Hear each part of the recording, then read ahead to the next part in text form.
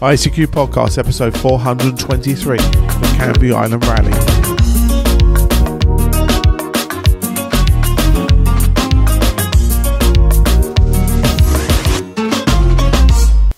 Well, hello and welcome, fellow amateur radio enthusiasts, to this our 423rd episode of the ICQ Amateur Radio Podcast, supported by our monthly and annual subscription donors.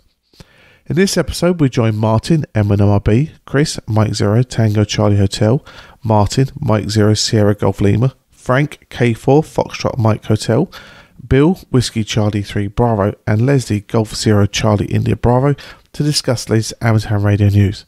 Myself, Colin M6BOI, rounds up the news in brief, and this episode's feature is the Canvey Island Rally.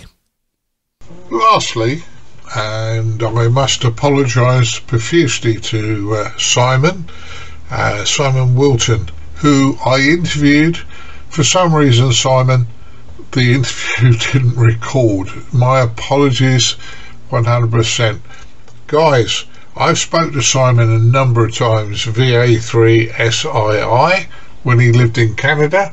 He's back in the UK as G7HCD and certainly a wealth of knowledge, a very um, clued up guy is our Simon, and I'm sure that the guys in Essex are really pleased to have you back, Simon. Uh, I saw a number of people wander by and pick your brains and do the bits and pieces.